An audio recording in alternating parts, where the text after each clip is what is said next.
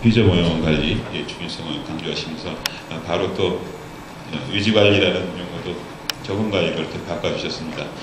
에, 지금 원래 계획된 시간보다 한 12분 정도 좀 늦게 진행이 되고 있는데 아, 그래서 좀 어, 여러분께 시간을 충분히 드리지 못하고 어, 쉬 시간을 좀 단축할 수밖에 없을 것 같습니다.